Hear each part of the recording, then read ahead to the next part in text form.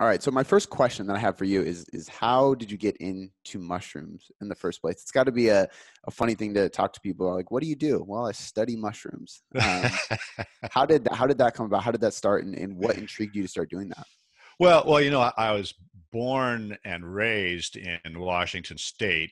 Uh, Seattle is where I grew up, and you know, Washington State. What do we have here? Lots of rain. Mm-hmm. we've got beautiful forests, and and we've got probably one of the best areas in the world for wild mushrooms. And so when I grew up, I was able to get out and do some wild mushrooming with uh, parents of friends. And then when I went to university, University of Washington, uh, I studied uh, anthropology but uh, they've got a great mycology department there as well. So I studied mycology at the university, and I put the two together into what's termed ethnomycology, which is the use of mushrooms for food, for medicine, and in shamanic purposes. Um, so that was my field of study. And look, as you well know, the 60s was full of shamanism. So that was, you know, we actually had psychoactive mushrooms growing on the campus of the University of Washington. Wow. So, so anyway, it was a real exciting period, interesting period for me. But once, once I got out of university, I mean, what do you do with a degree in anthropology? Well, not a lot of jobs at that time. Maybe more today, I don't know. but um, I went to my mycology professor. I said, Hey, I'd really like to learn how to grow mushrooms. That sounds really interesting. And he said, Well, there's a mushroom farm in Olympia, 60 miles down the road. I went down there, I applied for a job. I got a job and uh, I was there for the next 10 years living with mushrooms. I mean, it was a big farm, 2 million pounds a year. I mean, 200 employees, a big farm, but I was literally living with mushrooms for the next 10 years. Wow. Uh, what, when, when you were down there living there and, and literally living with the mushrooms, um, how many different species of mushrooms or i would i would think it would be considered species of mushrooms were you guys growing and and also i guess like how many different variations of mushrooms are there because i believe there's a lot of different mushroom types out there, right? Oh, oh yeah. There, there's tens of thousands of different species, and and that's what we're going to be talking about is the different species. For example, the mushroom farm that I was working on, primarily what it grew was the agaricus mushroom, and that is the button mushroom that you see in the supermarkets, the very common. And, and uh, the button mushroom, sometimes you'll see it, it's white, sometimes it'll be brown, and they'll call it a cremini. Sometimes you see the really big caps that are open and they'll call those a portobello. All the same species, all agaricus. But here's what was really cool, and I was so fortunate. While I was there, we had a Japanese scientist, Dr. Urayama, and he was our director of research and development. He was growing shiitake, um, oyster mushroom, and uh, enoki so I got to see and be a part of those experiments that he was actually doing. And in 1978, uh, the mushroom farm called Ostrom Mushroom Farm, we introduced the very first uh, fresh shiitake mushrooms into the markets, into the supermarkets in Western Washington, 1978. Uh, and the cool thing was, is I had access. I was I was eating fresh shiitake in the 70s. And uh, the funny thing was, is that the whole marketing effort, which was very strong, bombed. And what happened is, is people said, oh, shiitake mushroom is just a little bit too strong. And it was just like, and I was just like, are you kidding? Have you ever eaten shiitake mushrooms, Cody? Yeah. Oh, yeah. I mean, I love shiitake mushrooms. They're my favorite mushroom. Delicious. No, it didn't work. It probably took another 10 or 15 years before shiitake got sort of reintroduced into the markets again mostly on the west coast down in uh, san francisco bay area something like that but it took a while longer before it really got rolling from a, from a history perspective, I, I have a couple questions. One follow up question was: you mentioned there's tens of thousands of species, and then you named multiple types just in one species. So if we consider just like all the types of mushrooms, would you say there's literally millions of different types of mushrooms? And are they still Well, discovering them? Well, no, not really. There, there's. I, I mean, remember a couple things here. One of which is we're talking about the um, a kingdom of fungi, Mm, and and there's the kingdom of animals, the kingdom of plants, kingdom of fungi. There's a lot of fungi that do not produce mushrooms. So there's millions of species, different species of these these fungi, but only let's say a hundred thousand or so that will actually produce a mushroom. And the other thing is that although a lot of those species are edible, a- and there's some that are poisonous, but a lot of them are edible. But the thing is, is that just because they're edible does not mean that they taste good. Mhm. so there's a lot of edible mushrooms out there that you'd go out and you'd hunt for a while, and you'd go, "Oh wow, this is great!" And it's, oh yeah, it's an edible mushroom, but it's like, yeah, it tastes like um, leaves, or it tastes like dirt, or it Yeah. tastes like something that is not what you want to be eating. There's there's maybe two dozen what we could call edible and choice mushrooms that people will find wild and probably 12 to 15 species that are cultivated. And this is the other thing is that is that only certain mushrooms can be cultivated and normally those mushrooms are are mushrooms that that let, let's for example say for example they grow on wood. Great they grow on wood so we can we can inoculate the mushroom spawn into a log and grow those mushrooms or into sawdust and grow those mushrooms. So we figured out how to grow again about two dozen different species but beyond that uh, it's not easy because for one a lot of mushrooms need a live tree to actually produce chaga for example. Um, you know you've heard of chaga probably right? Yep. chaga is actually um, it grows on a tree it grows on a, a, a birch tree but it's a tree pathogen and it's not even a mushroom it, have you ever seen what seen a chaga I've only had it in tea, so I don't. well know. okay a chaga is is like this gnarly blackened growth that comes off the side of a tree you'd look at it and you'd go what the hell is that even when you see it you know after it's been harvested and chunked out or stuff it's like what?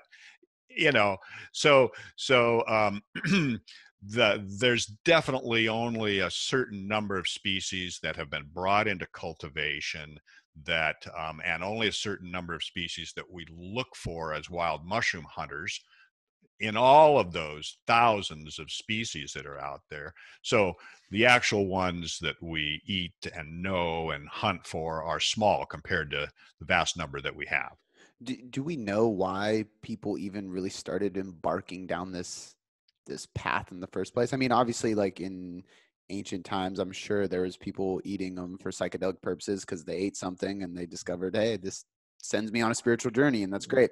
Um, but at what point did people really start studying this and, and trying to find different mushrooms that did different things for different purposes? Well, you know, the Chinese are really the ones that that and and other Asians like the Japanese, the ones that really got into this because mushrooms have been used in traditional Chinese medicine for thousands of years, and so they kind of figured it out. And and you know, it's it's interesting, like any food, when you think about it.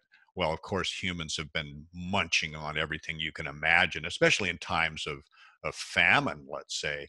I mean, I mean, one of the things about China that always blows my mind is that is there anything that they don't eat in China?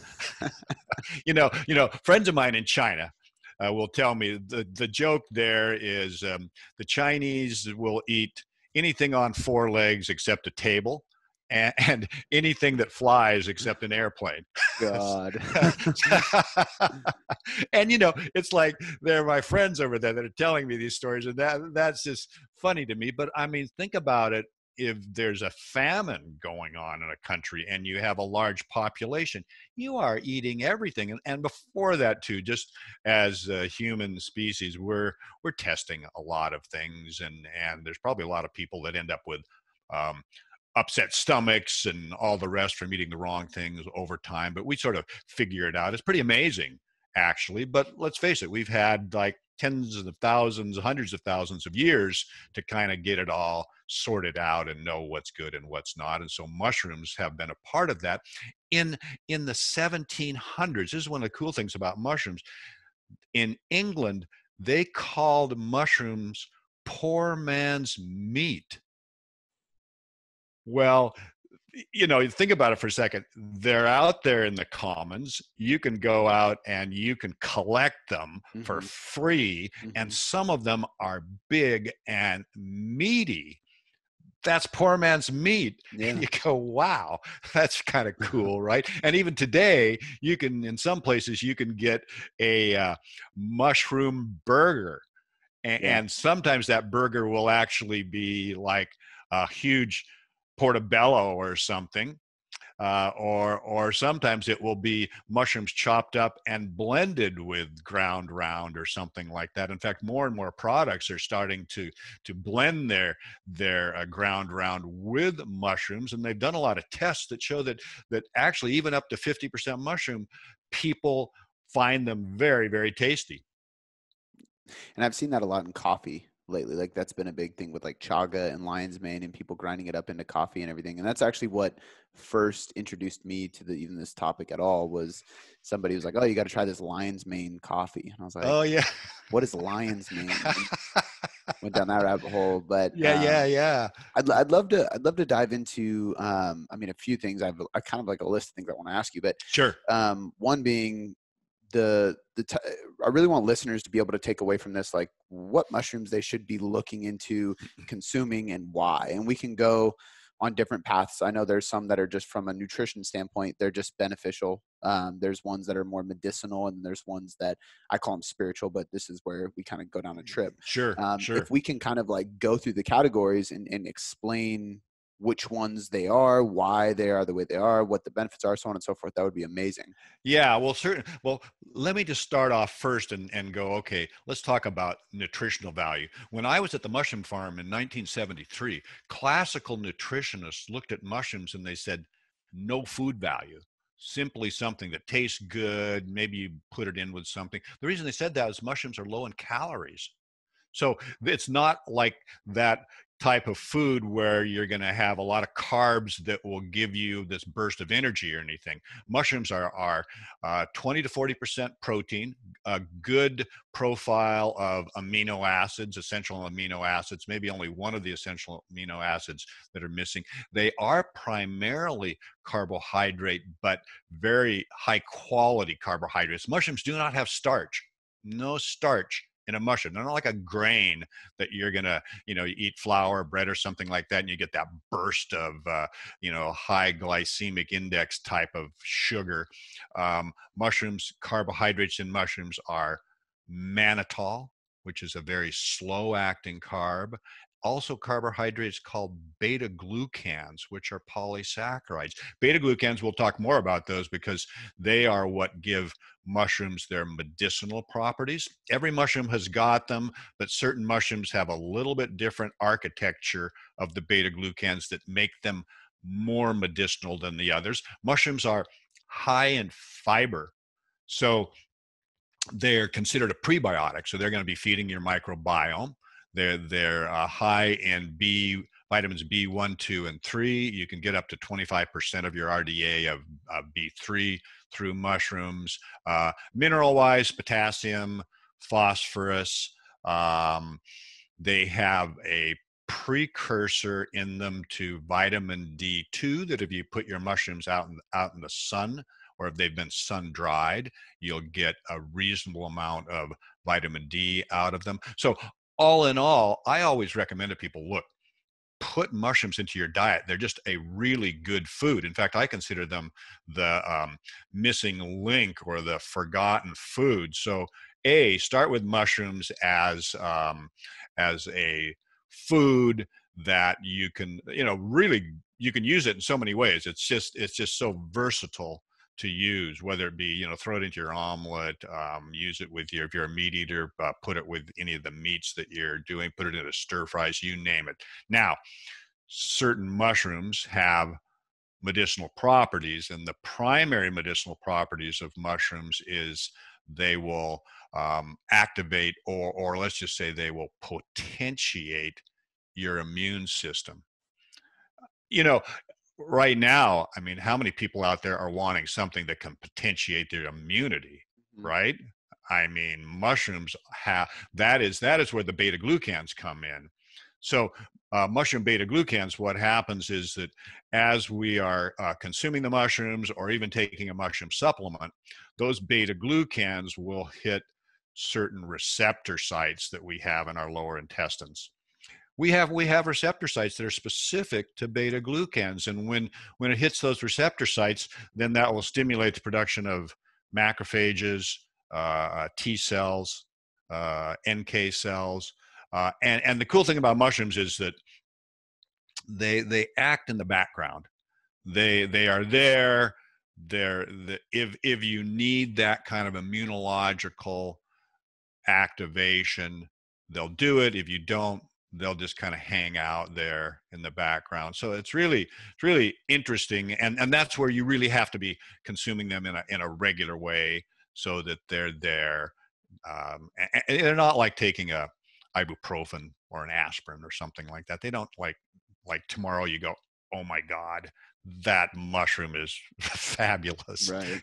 You know that's not how they act. I've seen anecdotal stuff for people who say that and all I can say is either you're much more sensitive than I am, or or there's the placebo uh, act, you know, the activity uh, manifesting.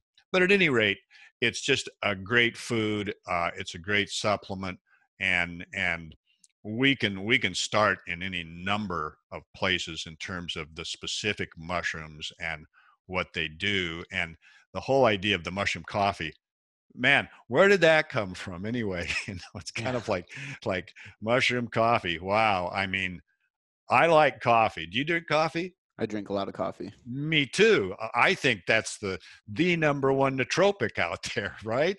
It's like, yeah, yeah. That, that's something like the first thing I do in the morning when I get up is I put the water on. Let's get moving here, right? So, the fact that mushrooms get put in coffee it's interesting. And I actually put reishi mushroom in my coffee. And the reason I do is that reishi mushroom is bitter. Have you ever tasted reishi? I've had reishi coffee, so I've had coffee with reishi, and you can definitely it's a, it's a distinct taste compared to regular coffee. Okay, and was it like a a uh, something where you had other things blended in with it, or was it just reishi mushroom with you know, added to just ground coffee or something like that. Yeah, it was just reishi mushroom added to ground coffee. Okay, because because you know, we sell to God, I don't know, dozens of companies who put out reishi coffees. Um, and and probably they use our other mushrooms for other type of coffees. Think about, uh, for me, I drink my coffee black. I don't sweeten it or anything, so I, I like the flavor of coffee. I, I like a dark roast. Reishi's bitter, I put that in there and it just gives another bitter tone or another bitter note to my coffee. So for me, it tastes good. A lot of people would go, "Oh man, you know that reishi is too bitter." I, I, you know, what can I do with it? They'll take it in a capsule or something like that. Reishi is called in China the mushroom of immortality. Wow. Yeah, it sounds appealing. it does sound appealing, but but maybe the real mushroom of immortality is something else. But we can get to that later. But but reishi is called the mushroom of immortality. It's got a high percentage, in fact, one of the highest percentages of these beta glucans, and it has compounds called triterpenoids, and triterpenoids are what give reishi its bitter flavor so reishi has um, not just the beta glucans, which is shared with a lot of the other mushrooms, but also these triterpenoids that are very, very good for the liver. And, and, you know, the liver is such an important organ that anything that can help the liver process all of those different impurities and so on that we've got is is a good thing. So so that's used a lot for um, especially as people get older that's that's what they would say just just put reishi into your diet and start using it for just as a general tonic Uh, um, so reishi is really. I always tell people, look at if you're going to use one mushroom as a supplement, use reishi. So, so that's definitely one that I, I highly recommend to people. Uh, the one you talked about earlier in your coffee was lion's mane, right? Mm-hmm. Lion's mane. What a cool name, huh? Yeah, yeah. That's what got me in the first place. yeah, yeah, I know. If you ever seen one out in nature, it the reason they call it the lion's mane is it's a big kind of white round thing, and it's got a lot of kind of short spines that hang off of it, sometimes longer, so it looks kind of like a mane. But in China, they actually call it monkey head. so lion's mane is kind of what we call it in the west but but lion's mane is interesting because it stimulates what is called what is uh, called nerve growth factor. A nerve growth factor is an amino acid that we we all produce and it stimulates and and organizes our neurons. And, and in in tests in actual clinical trials in Japan they've demonstrated that that helps people with memory issues and even helps people with um, early onset dementia. And how they do this is they actually will um, take a control group uh, of like 30 older people and 30 older people that that they give lion's mane three grams a day which is not a whole lot three dried grams a day of just the, the lion's mane powder they give them a battery of tests. After 120 days, they test them again, and the people taking the lion's mane do better. Well, you know, for what it's worth, I mean, and then the interesting part about that particular study was that after they stopped taking it and they tested them 30 days later after the the group stopped taking lion's mane, they dropped down to baseline. And that I thought was really the interesting part about the study because it was sort of like, okay, in order to maintain these benefits you have to kind of it's not like they're they're um, changing something in us that changes and all of a sudden okay yeah we don't have to take it anymore it's all good. No it's kind of like okay you have to take this to maintain those benefits. So so um, lion's mane has gotten this reputation of enhancing memory uh, focus as kind of a, a premier nootropic, mm-hmm. and and it's funny, uh, Cody, because five years ago, I sold our company sold c- close to no lion's mane. close to none. I mean, today we sell lion's mane by the ton. I'm not kidding you. It's the number one mushroom product that we sell is lion's mane. I believe it. And it's just it's just craziness. Um, the other one that came out of nowhere was uh, chaga. Yep, that's what I was going to ask about next. Yeah, and and chaga, you know, traditionally has been used for stomach issues. Um, it's traditionally been used as a folk remedy for cancer. Uh, and, and first of all, let me just say, I don't I don't advocate using any of the mushrooms for cancer anything we don't make any claims that way. You know some some of these things have been used as folk remedies which is fine but but a lot of times uh, and what has happened is certain of these mushrooms have been refined into um, quasi pharmaceuticals for use in Japan and China as adjunct to actual uh, when people are going through chemo or radiation or something like that. They will give them these in a in uh, order to help their immune system cope with being torn down by these by chemotherapy or something.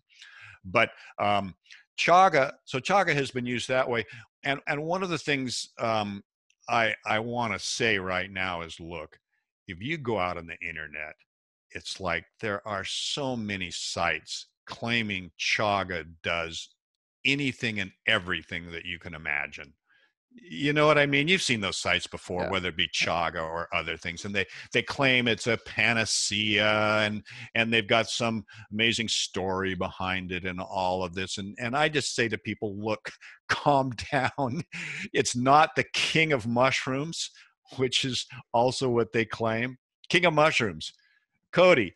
In my lifetime, I have met four kings of mushrooms. So, so kings come and go and Yeah. and today chaga is kind of like the new king and i just look at that as as too much marketing speak and hyperbole and chaga is a good medicinal mushroom but let's keep it all in perspective I've, I mean, the the lion's mane. I think it, it makes sense why it's the most pop, one of the most popular because nootropics kind of hit the scene in in this like era of entrepreneurship and productivity and everything like that, and it's attractive. I mean, I I take nootropics every single day. I actually Yeah. have one that has lion's mane in it. Um, And then there was the coffees and stuff.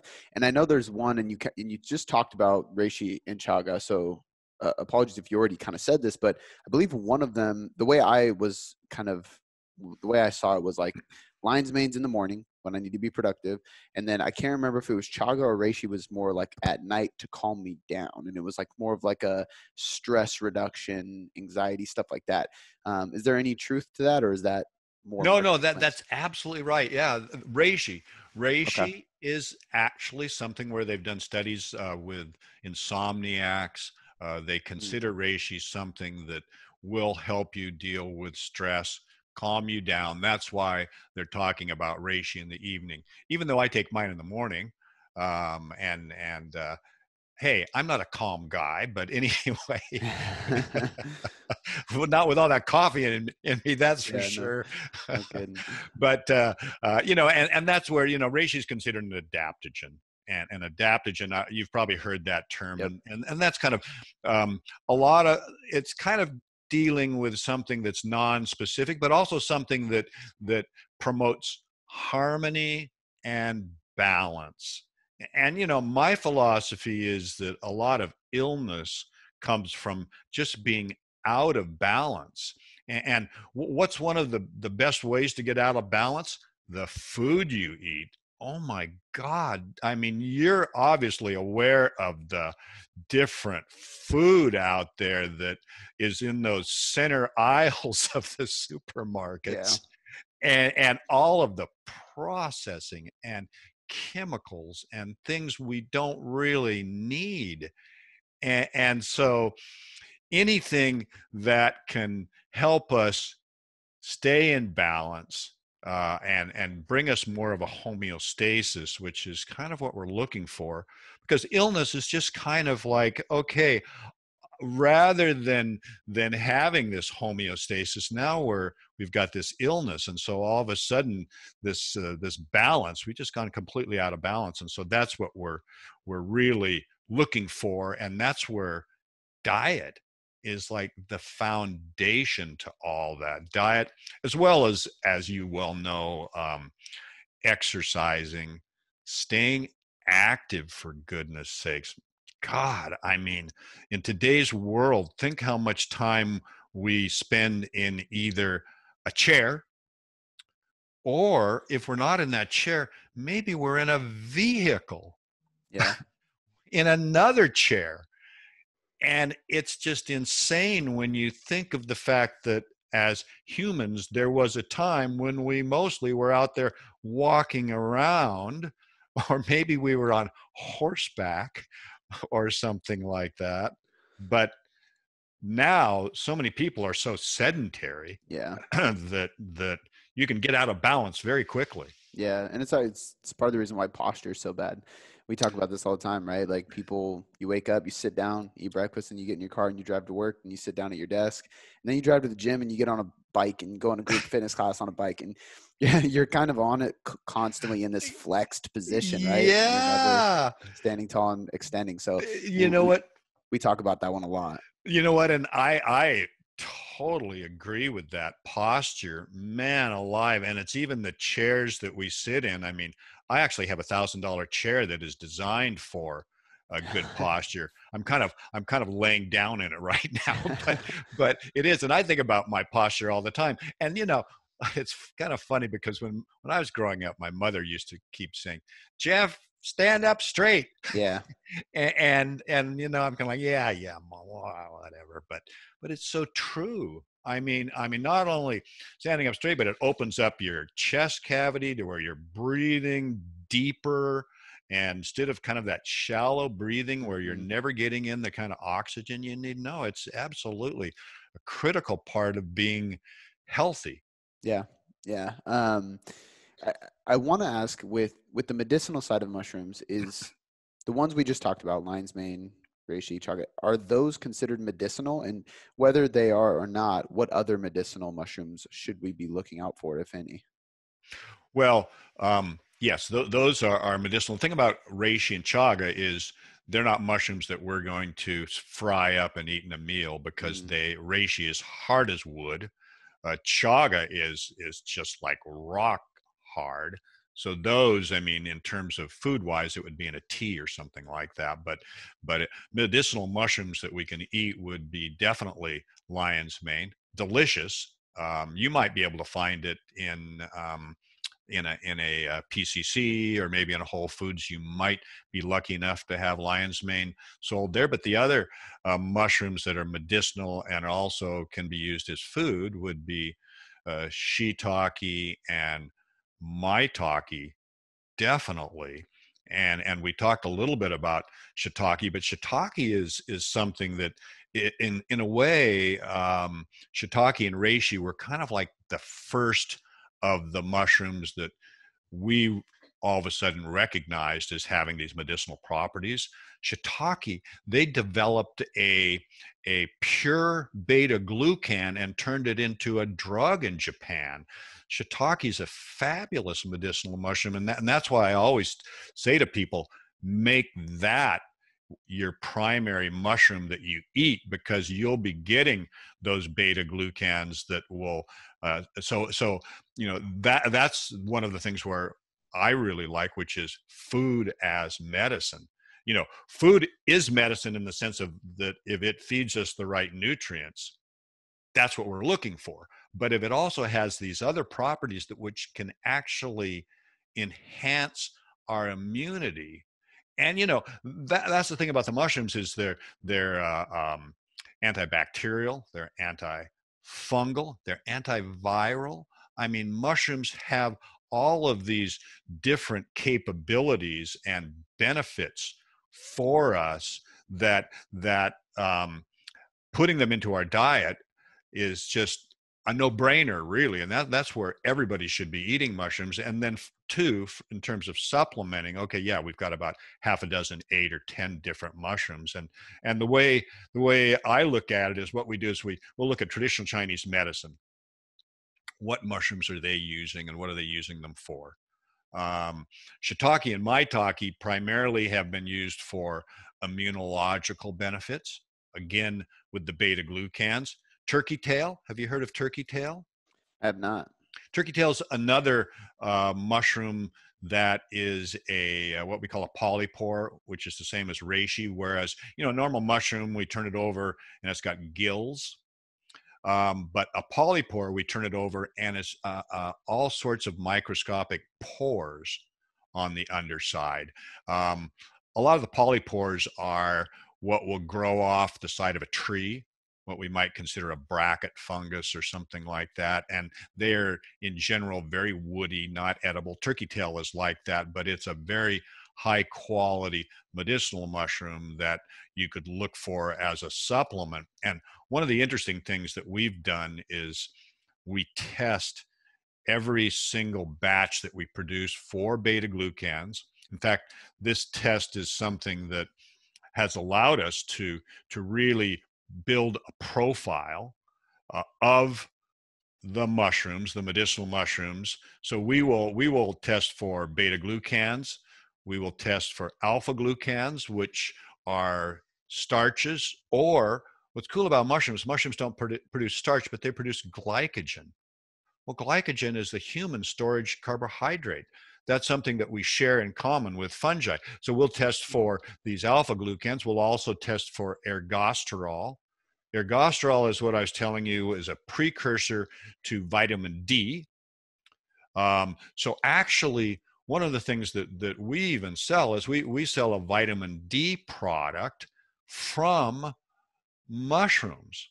So, so what we do is we expose mushroom powder to UV light, and that turns this ergosterol into vitamin D2. It's an amazing thing. And, you know, you've probably heard nothing but information about vitamin D in these last couple months, yeah. right? Yeah, yeah, yeah. And and I've been reading about vitamin D for for years now, and especially since uh, in a in a mushroom we've got this precursor to vitamin D where you can you can turn that into into vitamin D. You know, the vitamin D3 that is out there that that is most of the vitamin D that gets that we consume comes from lanolin, which is from sheep's wool, and then it gets processed and they pull out the vitamin D3 of it from it. Um, we we create vitamin D3 through cholesterol. So when we expose our skin to UV light, which is sun, then that cholesterol that's on in the surface turns into vitamin D3, and and that's how we get our vitamin D unless we supplement, um, because there's there's very few foods that have reasonable amounts of vitamin D. So, so vitamin D is really one of those amazing, um, I guess you'd say, amazing properties to mushrooms that we can actually tap into. The other thing we test for is a compound called ergothioneine, which is a very strong antioxidant. So we've got a profile of the supplements that we sell, and and we test every single lot and one of the things that we should talk about here because it's really important for your listeners and that is the quality of the mushroom supplements that are in the marketplace and you know a lot of people say oh yeah supplements be careful because there's a lot of a lot of lousy low quality supplements. Absolutely true and it's it's definitely part of what you would call the medicinal mushroom category and here's why you know um, you know mushrooms how do you grow a mushroom uh, mushrooms don't have seeds so what do you do you can't plant you, where's the seeds how do i do this well mushrooms produce spores so these spores go out in nature, and, and, mushrooms produce a single mushroom produces billions of spores. They they land on the ground, they land on wood. Uh, at some point, when conditions are right, that spore will germinate into a very very fine filament. And when multiple filaments fuse together, they'll form a network, and that network is called mycelium. You've probably heard of mycelium, right? I actually haven't until I started reading up on your stuff. So I would love if you could kind of break down the difference between sure, sure. mycelium. Well, the mycelium is the actual body of this fungus. So, uh, um, and what it does is it is what is is consuming all of the organic matter out there. You know, think about it. Every year we've got all these leaves, all of these annual plants that are dying, all of this wood, uh, leaves, you name it, that is falling to the ground. And it's got to be decomposed or else we would be swimming in this stuff. So, so uh, this fungal mycelium is consuming all of that and ultimately repurposing that into humus. I mean, it does that with with uh, help from bacteria and uh, yeasts and bugs and all sorts of other things. But it's very important to our ecosystem and repurposing all that organic matter into something useful for plant growth. Now, when conditions are right, and you know here in here in um, Washington State or British Columbia, that means the fall, like right now. Well, temperature drops, rains a lot, which means humidity goes up now that mycelium stops growing and puts up a mushroom. So um, that mycelium, as it's been breaking everything down, it's been building up its energy stores. And when the conditions right, up comes the mushroom, and the mushroom goes through its development. Uh, the gills uh, are exposed, and then it produces spores. And now we have a a basic um, um, life cycle of this organism. So you know when we're looking at a supplement you're looking at okay what is the plant part of that supplement? You know when, when we're looking at ginseng we want a root. Uh, other supplements it might be the fruit or the flower or like with ginkgo it's the leaf where the the main medicinal compounds reside. So the plant part is very important. Now one of the things about mushrooms is did you know that every single mushroom is is uh, um, picked by hand Oh, I did not. I would not assume that, knowing there's so many. well, uh, well, yeah. And and if you've ever been on a, have you ever been on a mushroom farm? I haven't. I think they're. You know what's funny is I I think they're. I talked to somebody uh, who who isn't into the field as much as you are, but they're interested in the field, and they said that there was one in Olympia that I should go visit.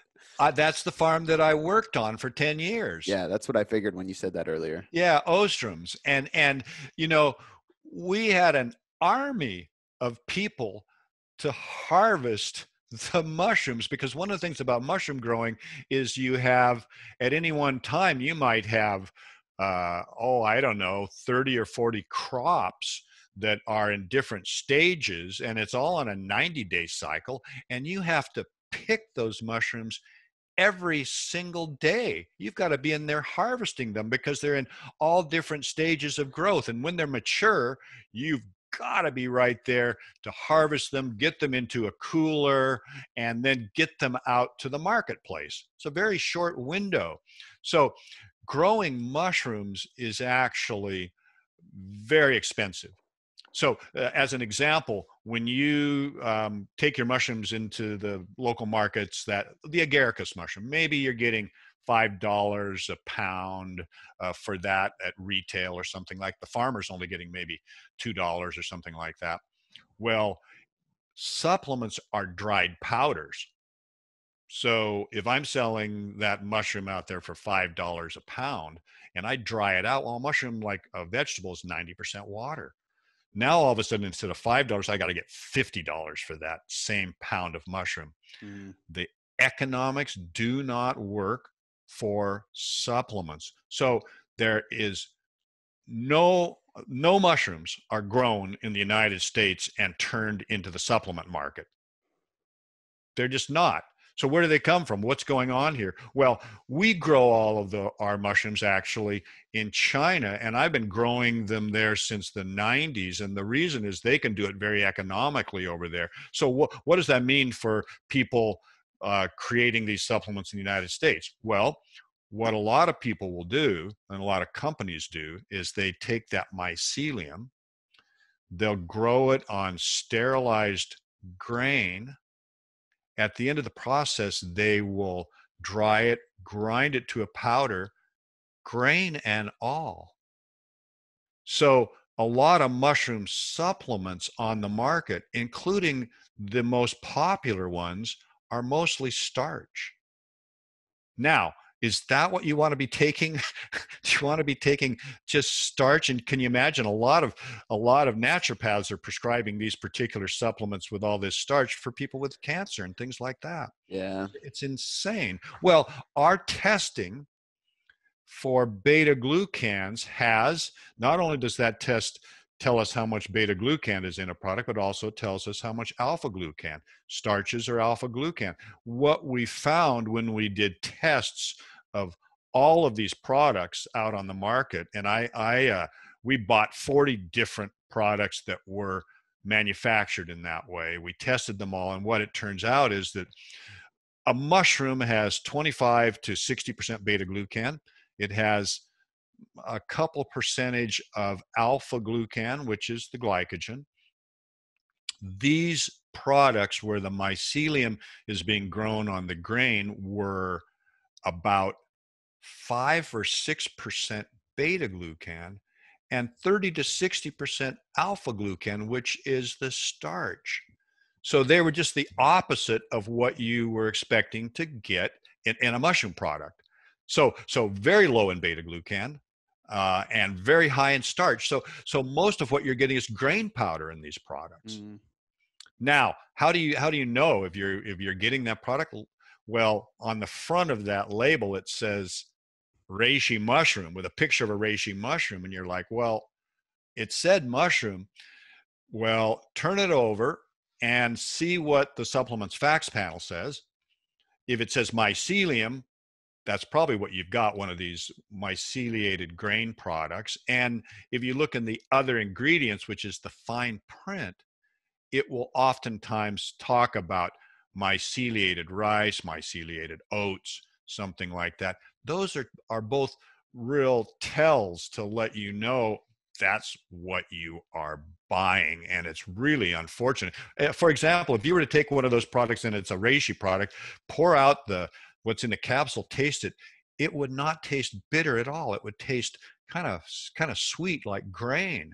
So you have to be very careful when you're buying your supplements to make sure that they say 100% mushroom uh, talk about beta glucans because these companies will never talk about beta glucans because they don't have any. And, and if it says made in the usa most likely that's what you're getting. Uh, so th- that's what's very important when you are actually looking for a high quality supplement because at least 50% of the products that call themselves mushrooms that's what they are. Got it. I would that's one of the questions i really wanted to ask to make sure people could leave this and know what to get. Um, so you're saying it should probably not be made in the united states? That's right. And, okay. and you know it's kind of counterintuitive, right? Because right now everybody's kind of like, you know, I want to, I want to do some, eat locally. Yeah. I want something made in the USA. I get that. I, I'm really into local products and purchasing local products, and I totally support that. But you know, I'm a mushroom grower by trade. I spent 10 years on a very large commercial farm. I know the economics of it. So I figured that out very early that if I wanted to actually get into selling mushrooms as supplements and and I started my company in 1989 Cody there wasn't a single mushroom supplement in the market at that time. I had to literally educate people and and tell them what it was about mushrooms that why they should put it into their line of all of these other green herbs because nobody knew a thing about mushrooms. It took the whole 10 years of the 90s to actually build the business to where actually selling product and people were putting out mushroom products. So yeah. so you know, I know the economics of it and and look, people go, "Oh yeah, China. Nah, not going to do it, right?" Look, there are a lot of chemicals sprayed in the United States on everything mm-hmm. on so much of the food and and you know yeah. do you want to eat something that's grown in the land of the gulf coast of the united states no of course not you know so that's and i so i understand all that but we grow our mushrooms way back in the mountains of china far away from the big industrial centers plus we analyze everything for heavy metals, for pesticides. Our, our products are organically certified. They get uh, go through the analysis before they leave China, and then once they uh, arrive over here to our warehouse, we test them again a second time. We can't sell our products unless they meet the standards, mm-hmm. and and so the only way you're ever going to get a genuine mushroom product, it's going to have to come from somewhere else. It's not going to come from the United States. Got it. And and are you your company is is selling directly to the consumer or are you selling to these companies that are making these supplement coffee tea mushroom products both okay both, uh, do yeah. you have like uh, a one drop obviously like your website where we can order stuff like that but then also any like supporting brands that you say like these people are doing well. Um, I've had a couple in my head that I wanted to shout out, but I don't want to put somebody on blast if they're not a great company. Um, so I'd love for you to just drop a couple names, including your own company. Yeah, well, well, um, and, and, first of all, yeah, I, I, I would never, you know, sort of discuss brands or say, oh, this brand is bad or that brand. We can talk about that after we're off. Yeah. Because I, I, like to do that with people, especially if they they're taking a supplement to find out what supplement they are taking. Then I can give you some info on that supplement. Um, you know, um, our my, my, company, of course, is Nammex.com. We're a raw material supplier to other companies, and I, I could give you a couple of brands. Um, you know, for example, um, Solgar uh, Wakunaga. Most of the other companies, newer companies, would be like, "Oh, don't reveal that you're selling to us because we don't want other companies to know that because then they'll want to buy from you, and then we'll have more competitors." And so, I normally won't mention too many other companies. I know with uh, Solgar and Wakunaga, they, they're fine with that. They don't really, you know, have those kind of issues.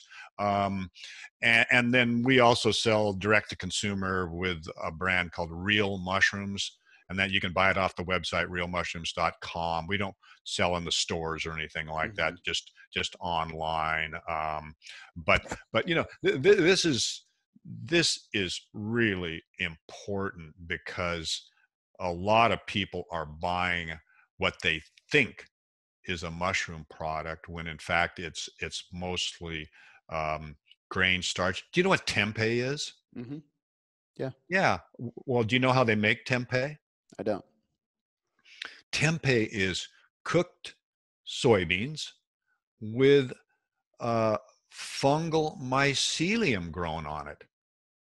Hmm. So if you've ever if you've ever eaten tempeh, you've eaten mycelium. Yeah, it's it's cool. It's really kind of a cool process. But and that's what these people are doing, but they're selling it as mushroom mm. and it's not. It's basically tempeh that they're grind drying grinding uh, and selling it as a mushroom. It's not a mushroom. Mycelium is a very is a very simple uh, part of this mushroom organism. The mushroom itself is actually very complex produces all of these interesting compounds. For example when people are out there are looking for a psychoactive mushroom, are they eating that the mycelium that's been grown on grain? No, no. not quite, because it's not producing the compounds they want. Right. You know, no, it's like the mushroom that is like this amazing biofactory producing all of these compounds. So that what they want, they want the mushroom. Of course, that's what they want. Yeah, um, which I'd love to get into real quick before I let you go. But uh, I do want to just kind of recap a couple things before we move into that area sure. of expertise. Sure. Um, I'll have you uh, send me some links to your website, therealmushroom.com, all that stuff, so I can link all the the verified mushroom companies in the show notes of this podcast. So if you're listening and want to get something, you can go to the right place. Cool. Um, but I think it's it's been really cool to hear just how important they are because I think a lot of people from I've I've had the conversation with uh, I can think of a couple friends, my sister-in-law, the guy that works with me, that were like, "Ew, mushrooms, no." And in in so the way we always cook them in my families, we do big barbecues and we'll do bubbling chicken. So we'll take like a big foil casserole like dish and we make homemade McBroom barbecue sauce and we boil the chicken on a barbecue in that, but we put a ton of mushrooms in it. And before we eat the chicken, we go out to the barbecue with a toothpick and we sit there and eat all the mushrooms out of it. And awesome. every person that tells me they don't like mushrooms, that's how I get them to start eating mushrooms. That is that so is so awesome. Yeah, man. so it's that really good. Really cool. Yeah. Any anytime I make a stew or something, I'm I'm cutting up and throwing all the mushrooms yeah. into the broth. It's yeah. like absolutely. Yeah, we do it with so many different things too at my household. But um, but it's good because I think that, like you said, like there's you know there's a lot of people that listen to this podcast that are either nutritionists, dietitians, trainers, coaches, and then everybody else is they're looking to be leaner, be more muscular, perform better in their their fitness endeavor, be healthier. Um, and it's cool that like mushrooms are extremely low calorie, so they're great to fit into a diet plan, but they're packed with vitamins, packed with minerals um, and they obviously have a lot of medicinal purposes as well. So I think it's it's cool for people to hear this and know that like, okay, I can put these in my food for the vitamins and minerals and benefits of health. And I can drink this in the morning for focus and in memory and i can drink this at night to help me calm down and go to sleep and um, it's just a really cool thing and i think people should all have it in their routine so i'm glad we did this and i'm glad i'm i'm, I'm going to be able to put some links in the show notes for people to click and go get good products so they're not just buying whatever they see marketed on facebook which is usually what happens first oh um, yeah but i do want to ask just before we go like if you have any um, expertise, I got to imagine you've looked into it a little bit because you're in this field, but um, the psychedelic mushrooms. And, you know, when I was growing up, um, they were more looked at it's just purely like you just want to go trip out. Like it's just just for party purposes, right? You just go trip out. And as I got older and I got more into entrepreneurship and I started talking to more people, I found more and more people using it to for personal development and going through these spiritual journeys and growing as an individual. Um, and it kind of throws a big curveball into the whole like drug conversation. Um, but I'm curious. Uh, obviously, if, you, if you're this isn't something you you discuss or know much about, we don't have to. But if you do know anything, I'd just love to hear about um, your opinions on on that whole entire region of mushrooms. Oh yeah. well, look, that that was something that that I studied in the university. Besides the fact that we were taking a lot of that for in different ways, um, there's a number of things that are that are really important when you're when you're actually consuming a psilocybe mushroom, especially if you want to do it in a way for for like um, self improvement or development of the spiritual side and and just development of yourself in general. And that would be, um, and you, you maybe have heard of this before. It's called set and setting.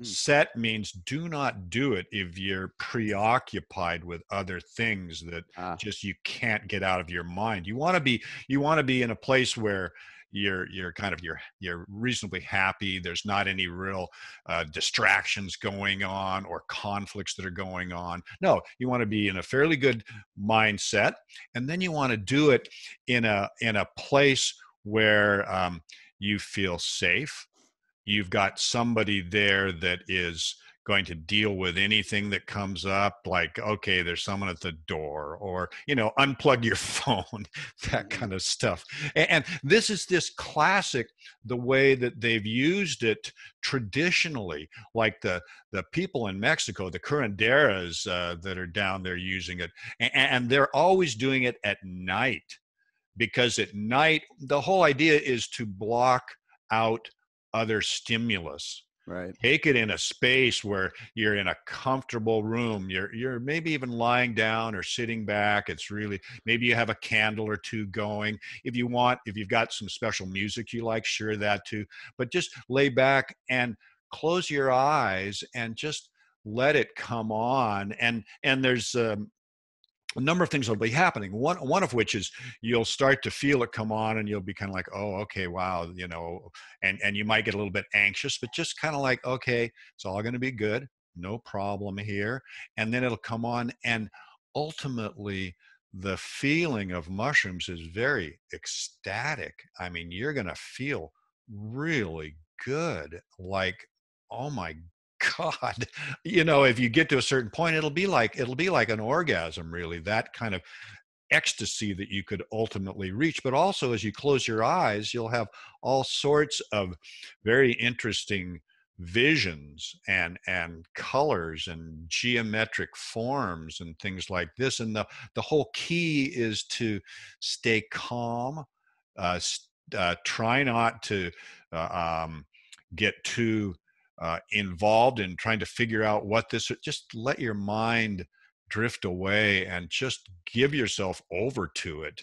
And, and again the key here is being in a safe space uh, away from you know you're not on a busy street and there's all this traffic noise or you're not somewhere where people are going to be busting in and hey what's going on? or anything like that. No do it you know this is this is where where like in uh, for example the native american church in, in the united states i mean they'll do it. People will come together when they come together in a group and they'll have a, a fire in the middle it'll be like in a teepee and people be around that and they'll take it and everybody's very calm and and there'll be somebody at the door so nobody else comes in somebody tending the fire but otherwise the people who are consuming the peyote in this sense they're there they're they feel safe with the others people and then people will sing songs and and uh, have this experience in a joint way um, but taking it with with friends at times is is really a good way to do it and, and have somebody there that will deal with all of the externalities that may show up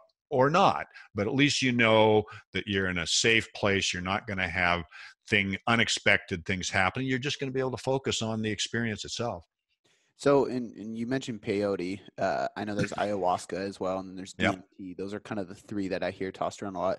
Um, I'm assuming peyote is a, a, mushroom based on what you just said. Is ayahuasca is a plant or is that a mushroom? Actually, well? actually, peyote is a cactus. Oh, cactus. Okay. And ayahuasca is a vine and a second plant that they they brew together to get ah. the actual ayahuasca itself. And, and is that other plant? is that DMT?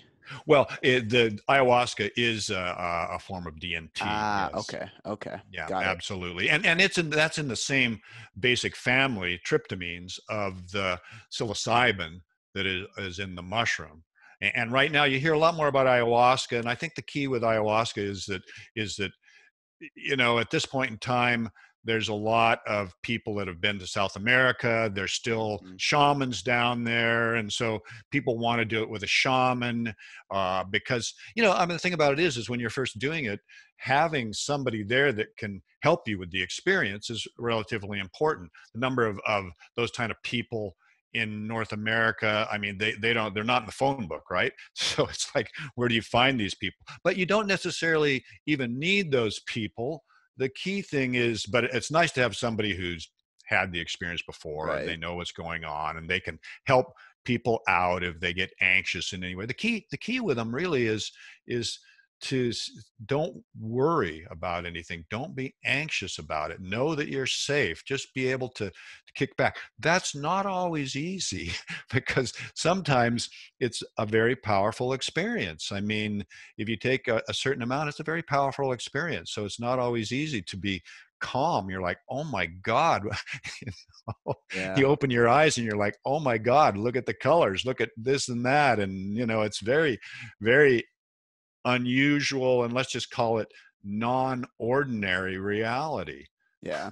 Um and and you mentioned psilocybin and something popped in my head is as i've heard about people micro dosing psilocybin um and from the way i've seen it or heard about it it's, it's almost like they're taking such a small amount that they don't go to that extent of this journey let's say. They instead it's it's a very very subtle amount almost like a nootropic. Is that would that be correct that's absolutely correct. Yeah, and and they would be taking maybe you know if it, if it was a dried mushroom, maybe they'd be taking hundred milligrams, uh, maybe 200 milligrams, depending on the person and the size of the person. Whereas if you really want to get the the full experience, you might be taking two grams. Got it. Um, so there's a definite difference there, and and you know, microdosing at 100 milligrams, you're probably not going to feel anything at all, and and you know people who microdose they're just going to have to decide what's the the right amount and have a scale where they can weigh it out to get the right amount but probably anywhere from a 100 to 250 micrograms would would be what's considered a microdose. Anything less than 100 milligrams i would think would be you know kind of very minimal and get lost in the shuffle. Got it. Okay. Well cool this has been extremely informative. I'm glad that we touched on that a little bit at the end too. Um, like I said before to all the listeners, I am going to link all this stuff in the show notes. But um, before I let you go, can you just give the listeners a place to find you, whether that's social media or your website or, or really any and as many links that you have to provide on this stuff uh, as you'd like? Sure. Well, well, come to our website. It's nammex.com, N-A-M-M-E-X.com. I've got a, a, a, menu there for educational materials. We got a lot of, of cool information, as well as some slideshows about how we grow our mushrooms and also the differences between these products that I've been telling you about, the, the tempeh-like products and genuine mushroom products. And then we have a, a um, direct-to-consumer side of the business called realmushrooms.com uh, go there. Realmushrooms.com has got some great information there too and, and you know one of the things that i'm I, i'm not here trying to sell product to anybody. I just want to educate people. I want people to know more about mushrooms how they can be beneficial for you either as a food or as a, a um, natural medicine. So um, really come to either of those websites. Lots of info there for you. I love it, and I appreciate that because for me, it's it's really just about giving good information and making sure people are not just wasting their money; they're putting their money in the right places to get the right benefits. So um, I'm right there with you. But uh, I really, really appreciate the time. I know we are passing an hour, so I'm gonna let you get going. But thank you so much for sitting down with me and talking uh, all things mushrooms. Uh, thanks, Cody. It's been great to talk to you. I really appreciate it.